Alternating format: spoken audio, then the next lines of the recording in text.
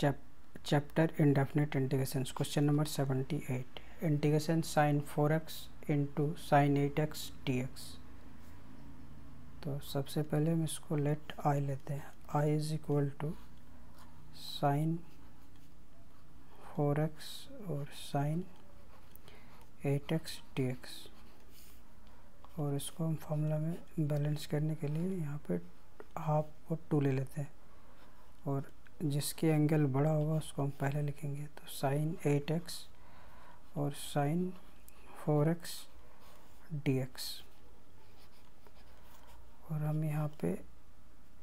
इस trigonometric identities को use करेंगे साइन ए और साइन बी और इसके जो फॉर्मूले होते हैं, वो होते हैं cos A minus B minus cos A plus B तो अगर हम इसको यूज़ करेंगे तो ये हो जाएगा वो half integration cos eight X minus four X minus cos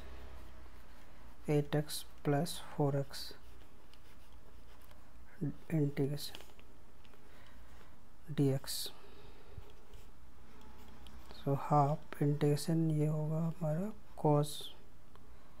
four x और ये होगा cos twelve X D X so is equal to one point two the integration of cos four X is equal to sine four X upon four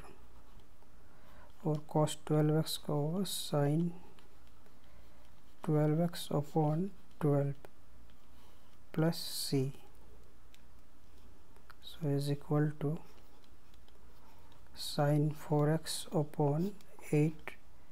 minus sine 12x upon 24 plus c. So which is the required answer?